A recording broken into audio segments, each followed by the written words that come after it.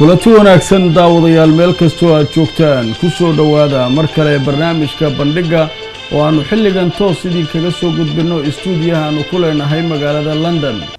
Daawadayaal barnaamijkan waa barnaamij aynu ku faaqidno hadba waxaa ku soo kordha xaaladda guud ee dalka soomaaliya iyo guud ahaan caalamka. Qodobada aan barnaamijka idinkuga hayo waxaa ka mid a waa sidee xaaladda magaalada muqdisho? Sidee loo arkaa in uu isku dhawaaqay inuu yahay musharax u taagan xilka madaxweynaha dowladda soo socota ee soomaaliya madaxweynaha maamulka koonfur galbeed shariif xasan sheekh aadan. Haddaba maxay tani ka beddelaysaa xilka uu hadda hayo ee ah madaxweynaha maamulka koonfur galbeed? Sideese suurtagal u tahay isagoo xilkaa haya inuu isu soo taago musharax? Warbixin ayaannu arrintaa idinkaga haynaa iyo qaabka ay u dhacday qaabka doorashada ama isu soo sharaxidda doorashadiisa.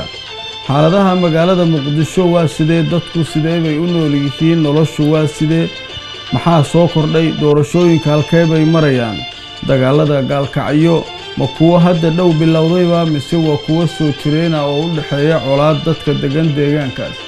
Barnaamijka qodobadaas ayaannu ku faahfaahin doonaa. Barnaamijka waxaa marti iigu ah maanta oo istuudiyaha nagu soo booqday waannu uga mahad celinaynaa ka soo qaybgalkiisa korneyl maxamed ismaaciil ibraahim oo ku magac dheer zero zero sate.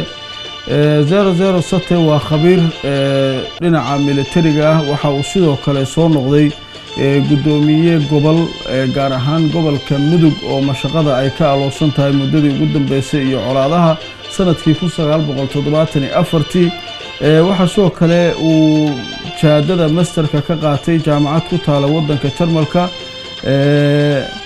waana aqoon-yahan waa siyaasi. Hadda dhowna waxa uu ka soo laabtay dalka soomaaliya. Waxaan ka waraysan doonaa xaaladaha guud ee dalka ka jira iyo guud ahaan siyaasadda iminka taagan. Daawadayaal waa mar kale iyo barnaamijka bandhigga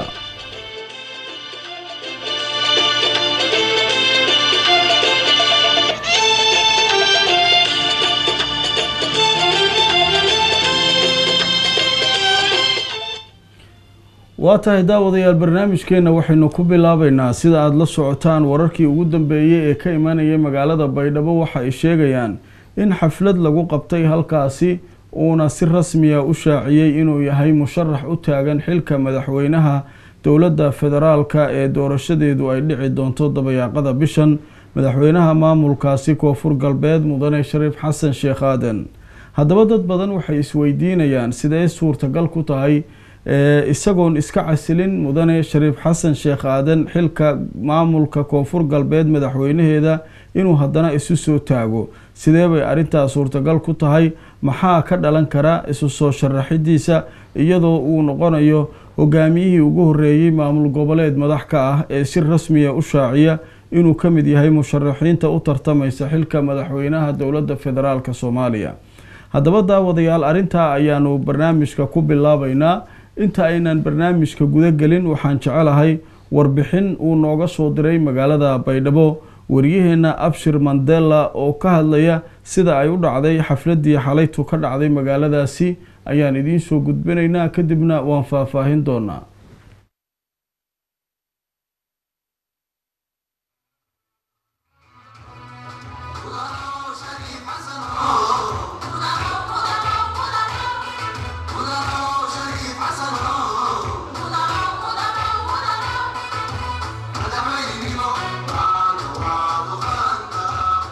munaasabadan oo ahayd mid markaasi madaxweynaha maamulka koonfur galbeed soomaaliya mudane shariif xasan sheekh aadan uu kaga dhawaaqayay in uu yahay musharax u taagan inuu qabto xilka madaxweynenimo ee dalka soomaaliya.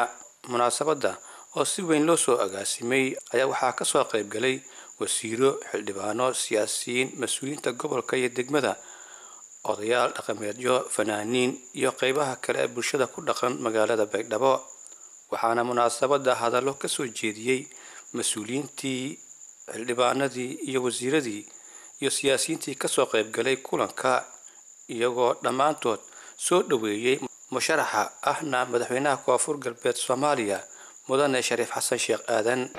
Way eed inka faraxsanaa in ona aan hagal taagna ama kabeerna dadka soomaalida oo weydiiyaan kursiga ama kuraastanka sarayta xilalka soomaaliya lama ku tumina lantartamo in ilaahay markan deersii una weydiyaan kursiga soomaaliya ka sarreeyay oo haddana la qiiminayay weydiyo hoobyagoodyuudi araga fadhiya buuxanta meel keeni fadlan yuba maarne rakonfali madaxweynaha soomaaliya nagada fale mar malaageelka jaamisu todobaatan iyo todoba qof isleetiin bay lahaa markaas madaxweynaha ay gashiway tilmaamay taariikh weymad koonfur galbeed in u hanato ama ay isku daydo inay hanato hoggaanka ugu sarreeya dowladda soomaaliya qaabka horta oo may leedahay hadda koonfur galbeed aan propose garayti musharax madaxweyne waa global standard waay marka ma-e madaxweynahaas musharaxi nairobi ama meelo marna wadanka ku baxsan aas musharaxi ma-e marka in wada tashi la suubi shacabka koonfur galbeed aan propose gareeya madaxweyne runta way ku turjumaase wacyiga iyo malay basaalka siyaasadeed ee koonfur galbeed deertii ee ku turjumaas taasna maynalaay xambaliyee koonfur galbeed beel ka soo rooga. Tan lamaad kursaha constitutional leero kora dadgoonee lanqoonta iyo mijaha runtii koonfur galbeed cudud ahaan geega maraqmadoonto waaye in toddobaatan iyo todoba xildhibaan geega bay dhawo lahaa kuxul micnaasha u ahaa in koonfur galbeed xuduudda unka weyn soomaaliya saas baaxad ahaan dhaqaale ahaan dad ahaan. Saas haddii intaasay ku fiirin wali xaqan lenaa in kursigaas un weydiisan xaqaan lenaa. Ugu dambeyntii waxaa kulanka ka hadlay musharax shariif xasan sheekh aadan oo isagu soo jeediyey kuna dhawaaqay musharaxtinimadiisa ku aadan inuu qabto xilka madaxweynenimo ee dalka soomaaliya. Runtii aan musharaxnimadii la hayinjeedi warartaba aan fadaay la hayinjeediyo aan fadaan meero eed ciidan ogolo waan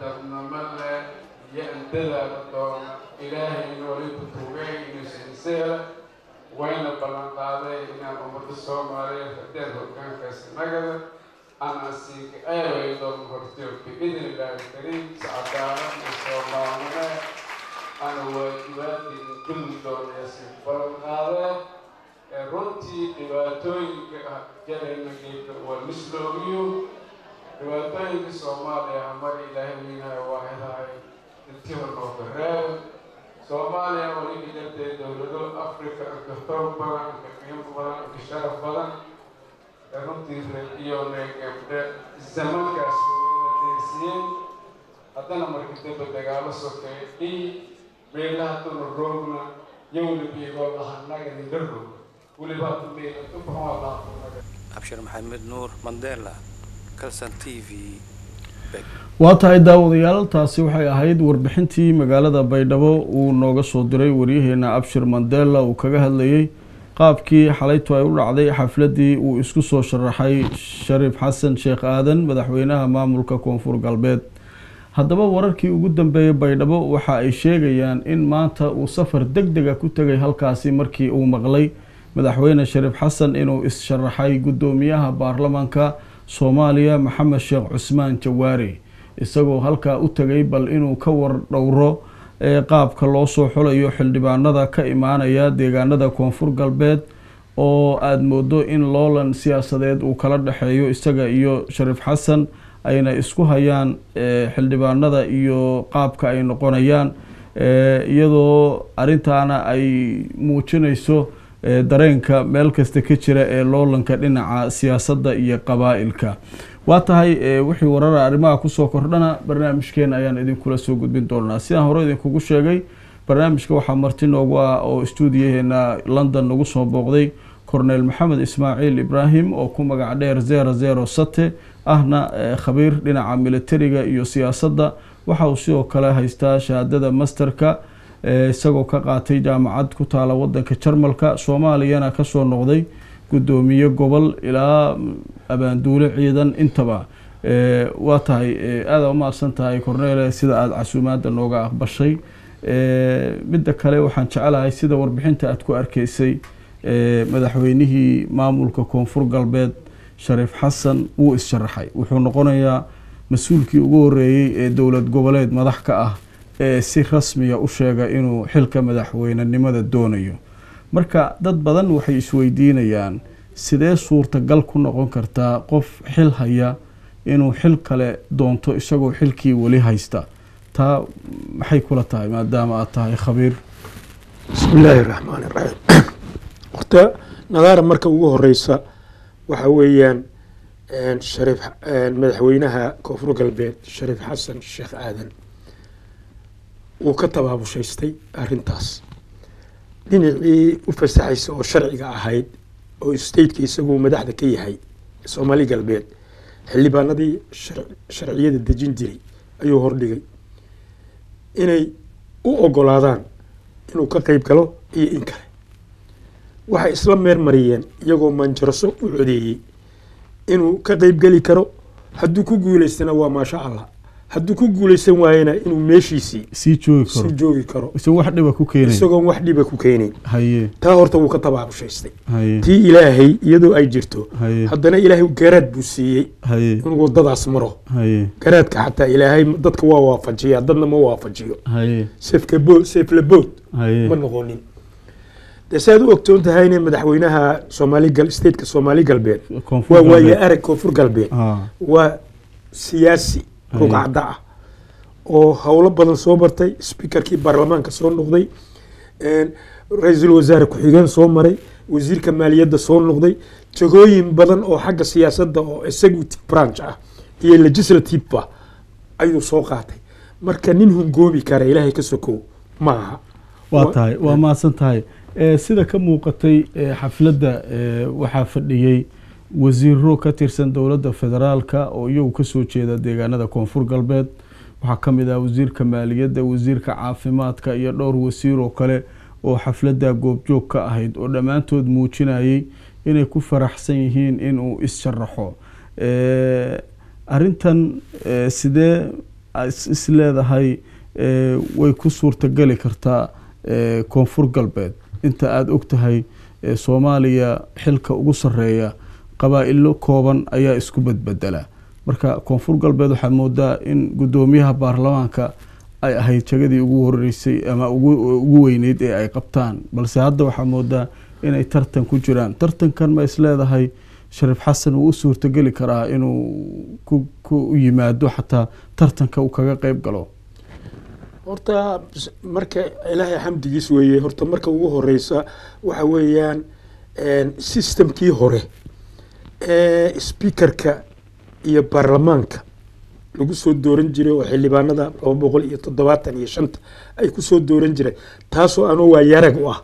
Naftaydu ka soo qeyb galay muddo yarse joogay laakiin insideka ka warqabay. Systemkii waa isbedelay. Hadda waxa weeya ilaahay ka soko waxay gacanta ugu jiraan. State walba dadka ay soo xulanayaan iyagay gacanta ugu jiraan. Macnaha madaxda dowlad goboleedyada madaxda dabagolada tii hore ma ahayn see marka ugu jiraan gacanta. Gacanta waxay ugu jiraan marka ugu horeysa selectionka. Marka la soo sameeyo. Oo la soo oo xulanayo la soo xulanayo. Haye dadka tartamaya dadka tartamaya iyagaa loo keenaya iyagaa loo keenaya haye. Iyagiibaa waxa la yidhaaho maaragtay fidgarayn. Haye. Ama waxay raalli ka yihiin ama ay raalli ka noqon. Horta iyagaa ayaa saxanaya. Haye liiska ay geeyaanna waa liis boqolkiiba sideetan ay isku hubaan. Oo ay leeyihiin influence badan ayaad isku leedihin marka horta halkaas shariif xasan shariif sheekh aadan. Mm. waxa uu haddana nasiib u yeeshay in statekiisa uu madaxda ka yahay hadda toddobaatan iyo toddoba xildhibaan macnaha xildhibaanada ugu badan ayuu nasiib xildhibaanada ugu badan ayaa ka imanaya talabaadna mosaika oo qabiil walba uu iska arkayo. Afarta waaweyn iyo inta adariska la leeyahay ay iska arkayaan. Marka ciyaarta la tago hoolka la tago doorashada marka madaxweynaha ugu sarreeya jarada la tago isagu wuxuu haystaa dadkii oo dhan ayaa ka muuqda. Oo inta state qabiilada ka socday baa ka muuqda. Sidaad ogsoon tahay statekan uu shariif madaxa ka yahay. Mm. waxa weeyaan lixdan iyo kowdii awal ka soo geli jiray wax la yidhaaho daarood iyo lixdan iyo kowdii ka soo geli jiray hawiye iyo wixii lixdan iyo kowdii diglo marifle iyaga way ku wada dhan yihiin. They are all inside. State qabo kale waa tahay. Laakiin dad badan waxay isweydiinayaan afar sano ka hor. Shariif xasan wuxuu rabay madaxweyne inuu noqdo. Waa tii guddoomiye baarlamaan uu u waday cali khaliif gallayr markii dambena jawaari uu guulaystay jawaarina sheekh shariif baa waday. Si looga hortago eh, shariif xasan. Eh, hadda hadday tii oo kale dhacdo ka waran jawaari weli wuu rabaa inuu sbiikarkiisii ku soo noqdo. Eh, haddii qof reerkiisa ah uu guddoomiye baarlamaan ku soo baxo soo meesheedii shalay soo maaha horta nadaarow waa runtahay oo fikraddaas iyo su'aashaas oo dhammi meesha ku jirta. Laakiin waxaan ku xusuusinayaa markii shariif xasan uu khalif professor galeyr ha. horta wuxuu ku dayay markii hore dhuxulow haye mustaf anu goobjoog baan ahaa. Weliba waan la kulmay iyagoo wada fadhiya oo ka tashanaya aniga leef ahaan. Cali khalif galeyr iyo dhuxulow waa nool yihiin labaduba eh. Iyagoo fadhiya oo ka tashanaya taa waan ugu galay meesha ma fahamtay macnihi Mm, marka waxa weye dhuxulow buu ku dayay. Dhuxulow markii dambe waa suurtoobi weydey. Mm, wuxuu keenay cali khaliif galeyr mm. cali khaliif galeyr cali khaliif galeyr waxaa la tartamayey jawaari naftiisa cali khabre seventy buu helay. Mm, ku dhowaad marka sidoo kale waxaa dhici karta shariif xasan marka wuxuu nasiib ku leeyahay laki mm, waxa weye marka ugu horeysa majoransa waa haysta seventy seven mm, oo qeyb walba ku jirto. Qeybihii kalena uu ka soo xuli karo. Tan labaadna waxaa igu maqaalo ah oo not official ama official noqon karta. In qeybta dirta ah oo aniga nafteedu aan ka soo jeedo. Mm. ya. Waqooyigaan ahay. Haye. aan ka soo jeedo. Ya. Oo lixdan iyo kowda. Ah in shariif xasan ay meel fiican. Macnaha heshiis hoosaa heshiis jira. hoose Haye. inuu jiro. Marka halkaasi marka nafteeda marka muxuu doonayaa oo heshiiska kula galay? doonayaa aniga say ila tahay analyskayga waxaan siyaasaddu waa indha indhayn iyo odoros waxa weeye wuxuu doonayaa in horta musharax uu noqdo nin ka mid ah. Oo dirta oo dirta ah uu keeno. Oo madax ah. Oo laga yaabo hadda kuwa madaxda ah umar carte ama inuu inuu noqdo. Ila isagaa horboodaya hadda. Sida istiidyada u horboodayaan maxamed doctor maxamed cali. Eh, maxamed cumar carte inuu galo guddoomiye baarlamaan ugu dhiso. marka hadhow toddobaatiyo toddobadii uu haystay Ha. iyo lixdan iyo kowgii beeshan ka imaanaysay marka wax badan buu isku helaya leeda Ma- may marka weliba doorashada speakerka la dooranayo jaa majoransu haystaa. Sax. Ila majoransa lagu hadlaya oo tii cali wuxuu ku dhacay majoransu waayey Mm, soo maad garan. Hadda marka jawaari hadduu galo majoransadiibaa si iiga muuqata hadday dhacdo arrintaas Mm. oo reyaala noqoto.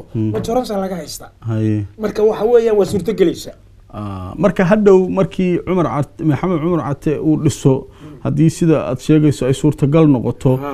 hadhow qoladii dirta ahayd marka waxay u helinayaan markii isu soo sharaxo madaxweynenimada Isagay u helinayaan. marka fursad badan uu helaya tan labaadna waxaad ogaataa. Problem insaydaa jira soomaaliya. Waxaa jira loobin mm, oo jacayl iyo nacayb baa jira.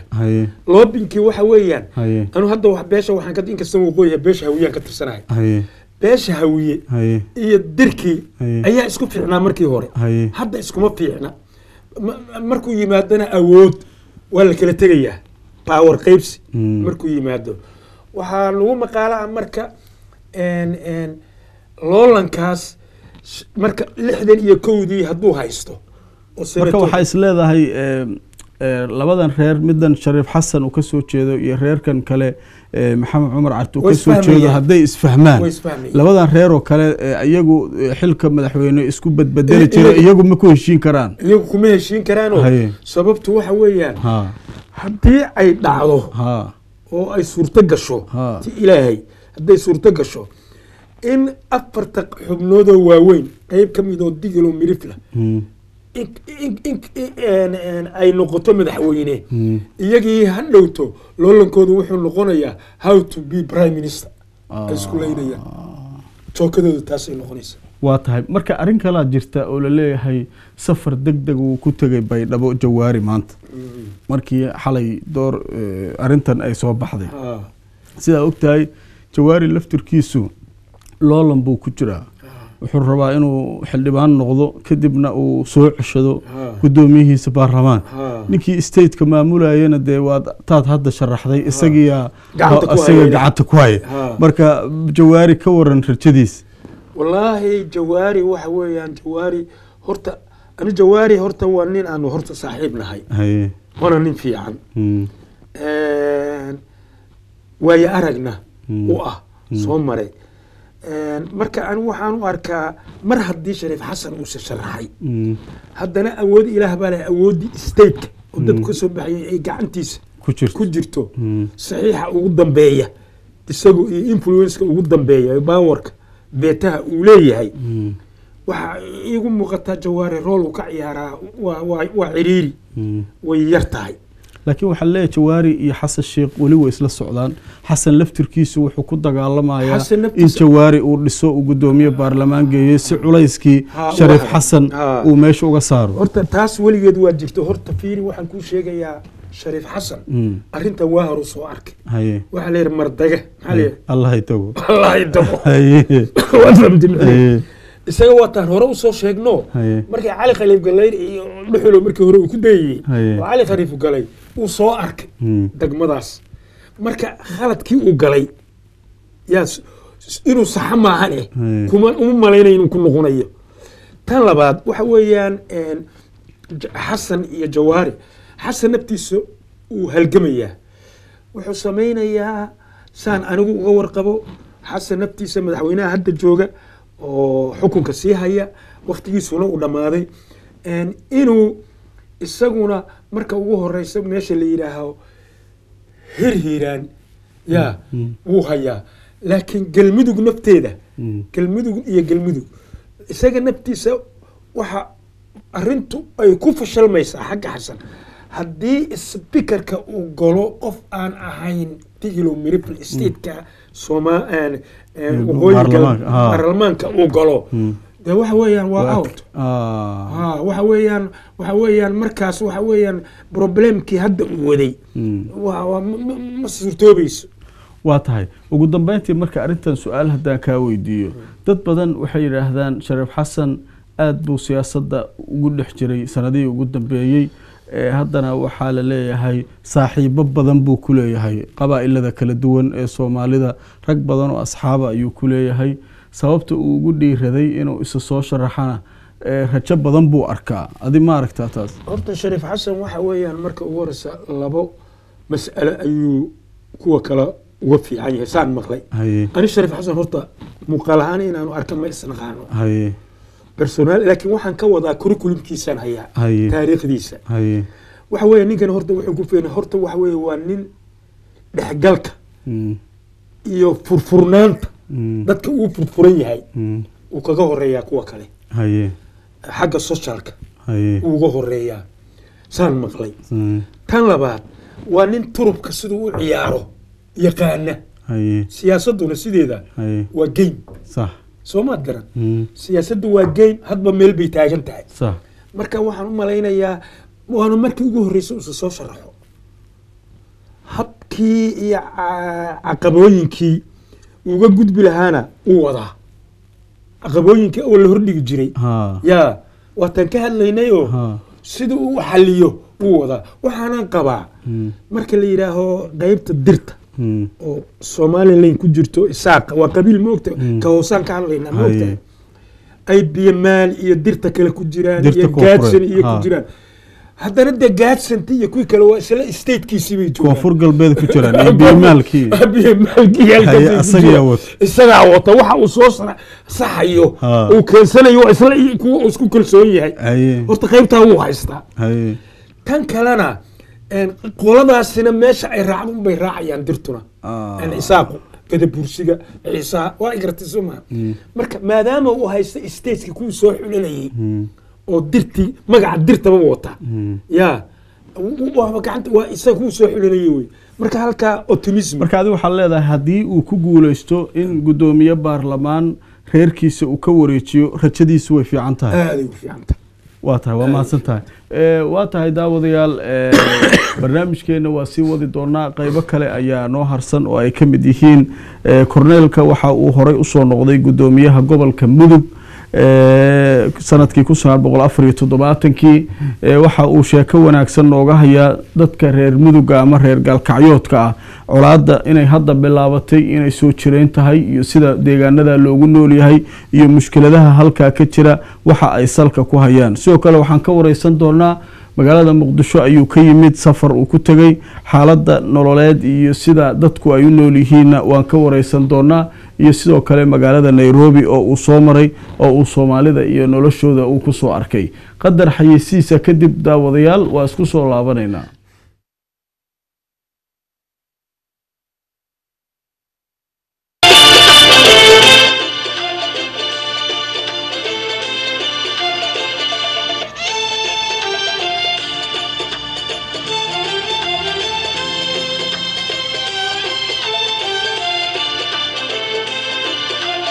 dhammaan dadka soomaaliyeed ee ku nool waddanka kenya iyo guud ahaan dalka soomaaliya waxaa lagu wargelinayaa in doctor cali macow aweys uu ka furay magaalada nairobi ee dalka kenya xarun cusub oo lagu daweynayo dadka cudurrada kala duwan qaba ee ku dhaqan geeska afrika.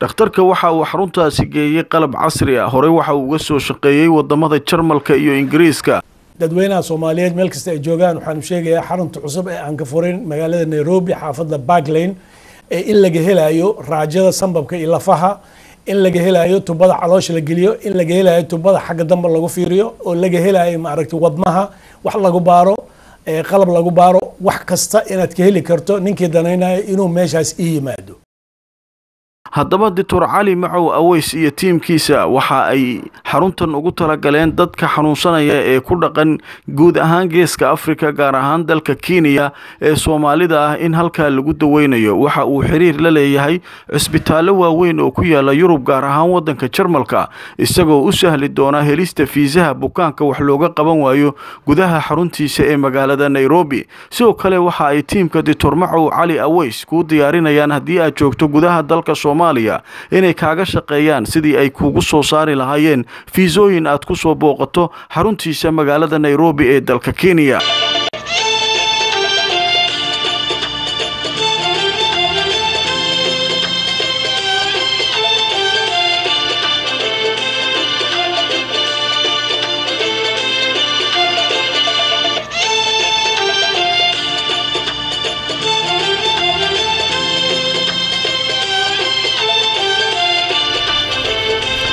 waa tahay daawadayaal isu soo noqod wanaagsan. Waxaynu markan gelaynaa qaybihii ugu dambeeyey ee barnaamijka.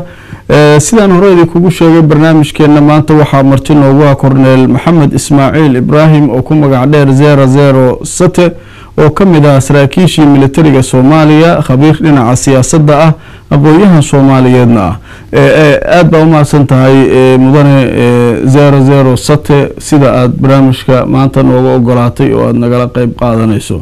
Waxaan jecelahay bal marka ugu horeysa inaan wax kaa weydiiyo magaalada muqdisho baad tagtay imisaa kuugu dambeysay marka aad safarkan hadda ugu dambeeyay tegaysay ma dhowr sano ma afar sano? Waxay igu dambeysay nearly two years. Laba sano? Waa tahay. Laba sano marka wax isbedela maxaad ku aragtay magaalada? Horta wax isbedela waxaan ku arkay. Haa. Marka ugu horeysa xagga nadaafadda.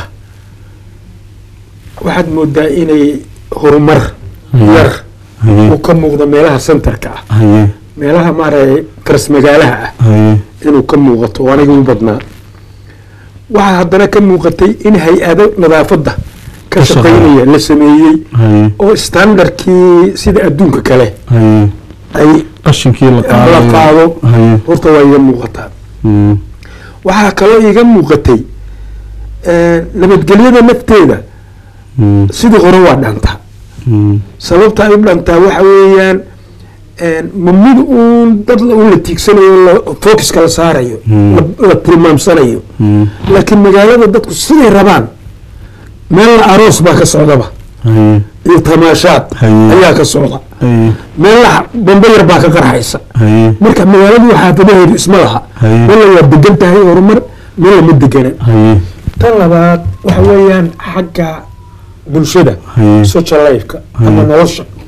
Walahi noloshu aad bay u adag tahay haye waxaa meeshii ka dhashay majoransa wax la yidhaha middle Haye. maba jiro. Dabaqad sare iyo mid hoose mid hoose oo weliba tii hooseysa ka hooseysa. Tii dhimashada tii geerida ayaa taalla.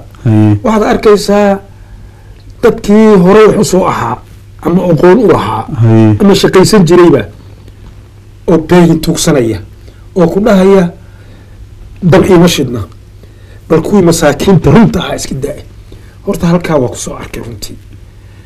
Lacagna ma jirto. Way xirxiran tahay. Wax la yidhaaho oo circulation of money ma jiro.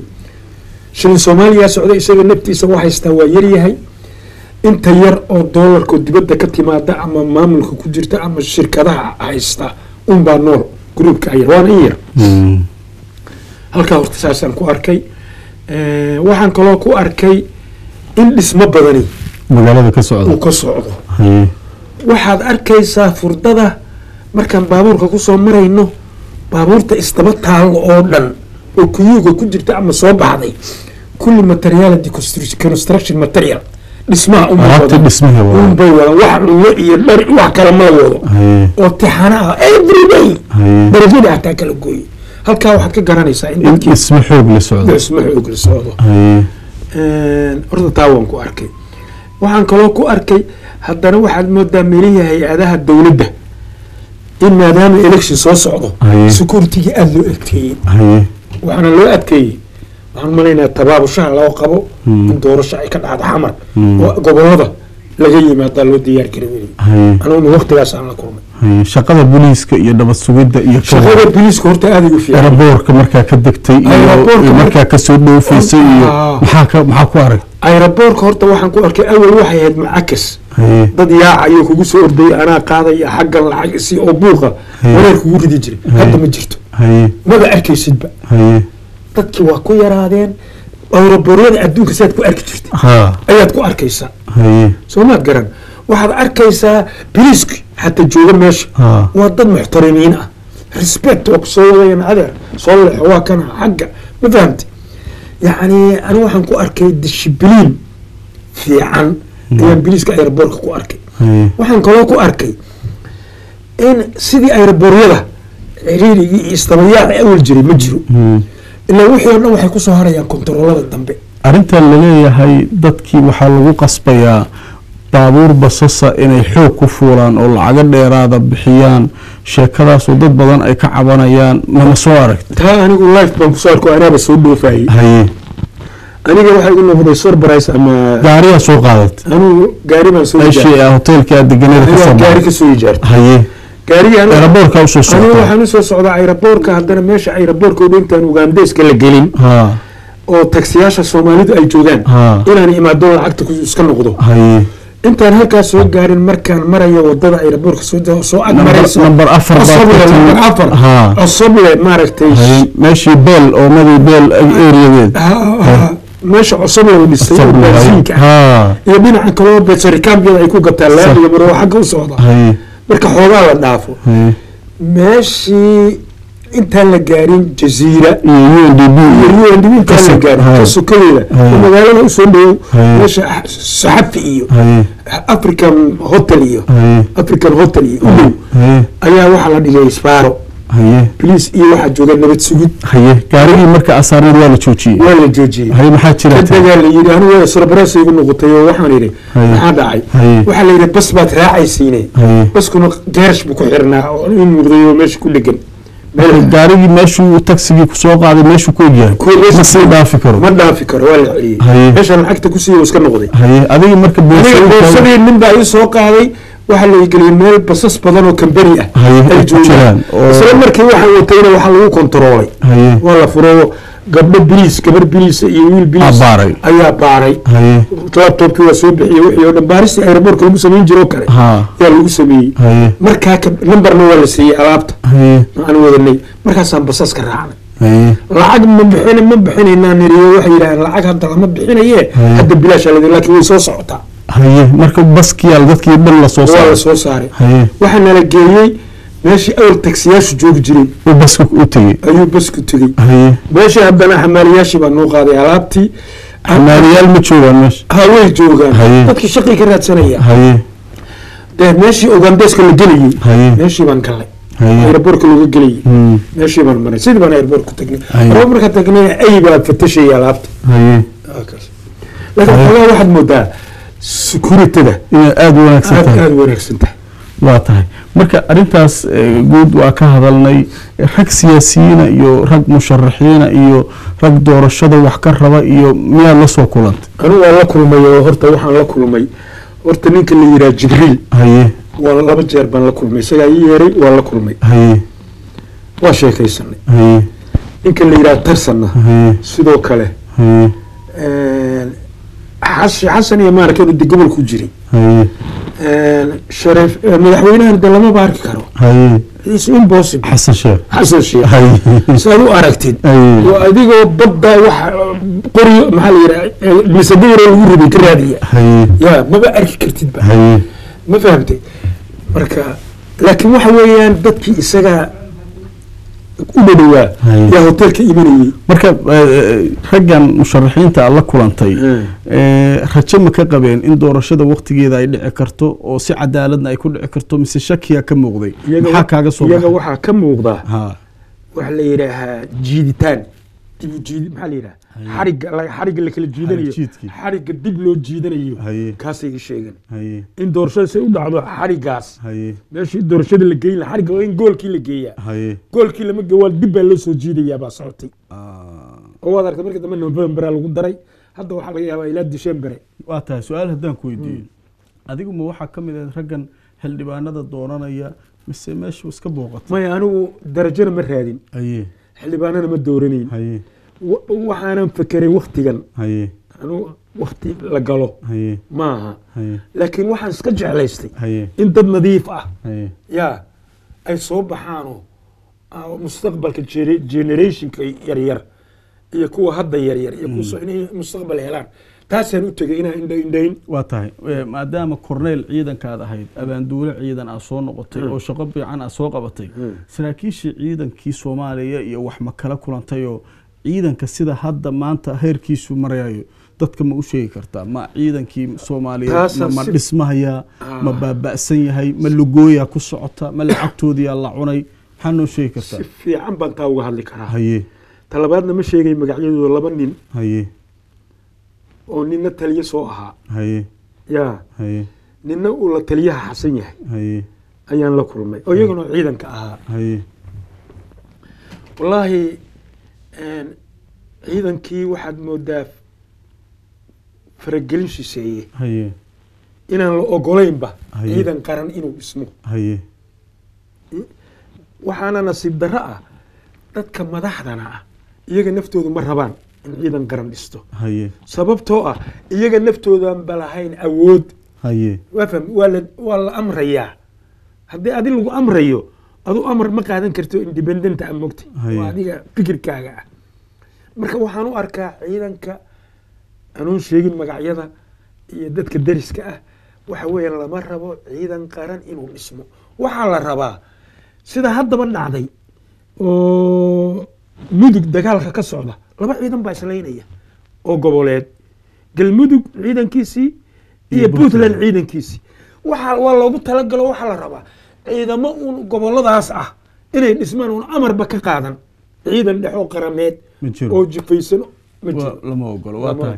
waayahay eh, arrintan mudug waa soo hadal qaaday. Kun sagaal boqol toddobaatan iyo afartii waxaad ahayd guddoomiyihii gobolka mudug ama gobernatorihii. Ha, weliba xilligii abaartii xumeyd ay jirtay. waa tahay. Ha. marka gobolkaas muddaa ka shaqaysay degmada xarar dheerena guddoomiyaa ka soo noqotay. colaad baa soo noqnoqota magaalada gaalkacyo. Ilaa hadda waa loo caallaayahay iyadoo imaaraadkii heshiis lagu soo saxeexay haddana xabadii dib bay u bilaabatay. Marka meeshaas mushkiladda ka jirta waa lagu wareersan yahay. Intii aada guddoomiyaha ahayd colaadahan iyo dadka meesha degan iyo ma jirtay maxaa nooga sheekeyn intaan ani guddoomiyaha ahaa ha. laba waxyaabood baa jiray oo ilaahay ka soko maanacaya in dagaal dhicin Mm, marka ugu horeysa wax allaalo wixii u dhashay mudug oo qeybta hadda qeyb ka mida kuwa istaalaya ka mid ah mm, dibadday u baxeen itaabiya sodof bay noqdeen.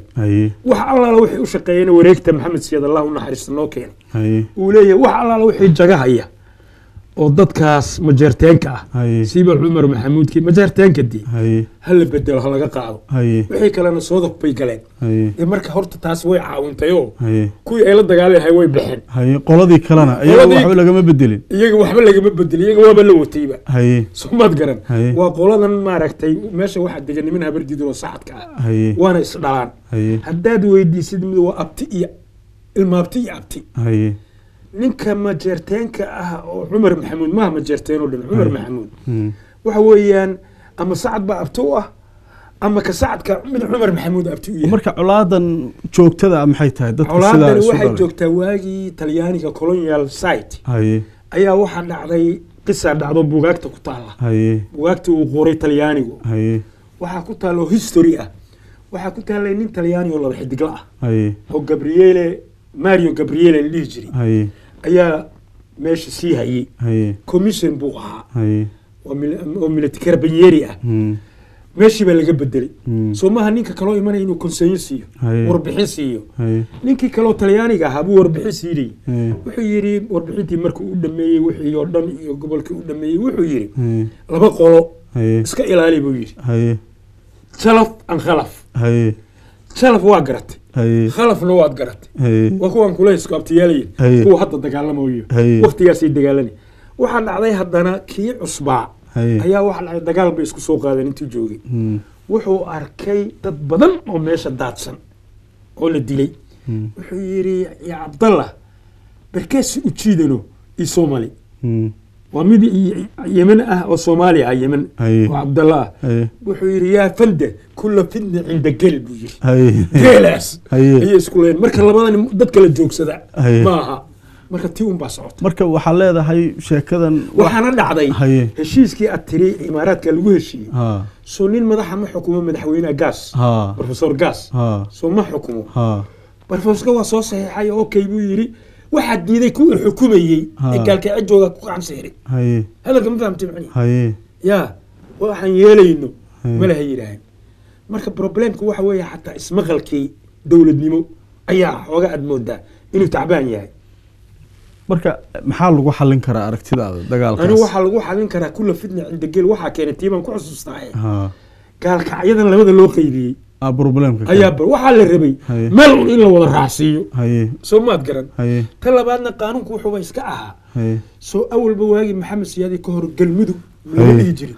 In mudug iyo galmudug la raaciyo ilan aan qabiil loo eegin. Hadda waxaad iga hadlaysay soomaali soo koonfur galbeed. Koonfur galbeed. Ha. qabiil walba ayaa ku jira de halkan maaha majeerteenku iyo cumar ma inay yidhaahaan anagu puntland baan ahay. Waa geli yani mudug buu ka tirsan yahay. Soo maaha xaradheera muduga moogta. Oo waxa weeyaan hobyaa mudug ah. Oo waagii maxamed siyaad iyo ka horba. Laakiin mudug mudugtu way kala qaybsan tahay qaybtaas- laba degmo waa puntland laba degmona waa marka waxaa la rabay. Markay waxaan samaynayeen way qaybsami weys haye. Ha. waa tahay ugu dambeyntii marka arrintan eh, waad sheegtay in mushkiladeedu ay dheer tahay muddo Waa nairobi nairobi tagtay. Ha. nairobi soomaali badan baa joogta mushkilado badan baa ka jira. Qaarkood waxaa la leeyahay qaxootigii iyo dhibaatadii markii la soo xiray magaaladii oo ku soo bateen. Siyaasadda soomaaliya halkaa waa laga kariyaa layidhi si guud markaa noogu sawirto dadka soomaalida ee nairobi maxaad ku soo aragtay? Wallaahi ani horta nairobi waxaan ku arkay horta caburistii badnayd iyo dhibkii lagu hayay uu ka yaraaday. Dowladda kenya waxba kuma hayso. Dadkii la qaqabanayay Hadda iyo qabanay. wixii waa la dowladda yaray kenya soomaalidii bay faraha ka dhiibtay oo kenyaanka ahaa Mm. waxay tiri arrintiina Mm, idinku xaliya. Mm, taasna waxaa u sababa xildhibaanada. Anoon kala soocin ee dowladda kenya ku jira ee asalkoodu soomaali yahay. Nimankaasaa hawl fiican ka wada. Marka waxaad moodaa kenyana inayba inay la shaqaysa maahan eh. Inayna dhib u keensanin. Xagga horumarinta siyaasadda waxa doorashooyinkan hadda aan ka hadlaynay iyo kuwa soo socda oo xamar la keenayo Mhm. kulli waxaa laga qoondeeyaa lagu shiilaa. Waa nairobi waa kenya. Kenya yimaadaan kenya marka ajandadii la wada qorto wixii dhan ayaa xagga la aadaa. Marka waxaan u arkaa horta waxay negativity badan waa jirta. Dad saboola oo dhibaataysan dhib- ma ku soo aragtay nairobi oo soomaaliya? Sooma ma badna. Haye. Horta xagga rag dadku inta badan noloshu iska heli way iska helayaan haye. Inta labaadna ganacsigii bay gacanta ku wada haystaan. Haye. Dadkii waaba waxaad moodaa magaalooyinka waaweyn bombaaso iyo nairobi. Haye.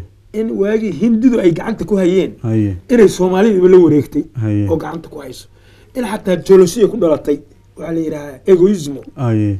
Oo ay keentay xataa nacayb Mm. sababtoo ah dhaqaalaha ay gacanta ku dhigeen. Mm. soo ma marka alxamdulilah way fiican yihiin. Marka dowladdana wax dhibaata ama culays gooniya kuma hayso. Waxba ma dowladda kenya. Waa tahay aada umahadsan tahay daawadayaal eh, barnaamijkeenna eh, intaa ayaynu ku soo gabagabeyneynaa oo aanu kaga hadlaynay waxyaabihii ugu dambeeyey ee ka soo kordhay xaaladaha dalka soomaaliya barnaamijka maanta waxaa igala qeyb qaatay oo aan si gaara ugu mahad celinayaa korneyl maxamed ismaaciil ibraahim oo ku magac dheer zero zero sate oo ka mid ahaa saraakiishii ciidanka soomaaliya islamarkaana jagooyin ka soo qabtay dowladii militariga isagoo soo noqday gudoomiye gobol sidoo kalena aqoon-yahan soomaaliyeed ah oo ka baxay jaamacad ku taala wadanka jarmalka. Uu ka qaatay shahaadada masterka aada buu u mahadsan yahay. Daawadayaal barnaamijkii waa naga intaa anigoo nadaara ayaa idinla socodsiinayay. Waxaa noo farsameynayay boocame inta aan mar kale kulmayno sidaasi nabadgelyo. Wasalaamu calaykum waraxmatullaahi wabarakaatu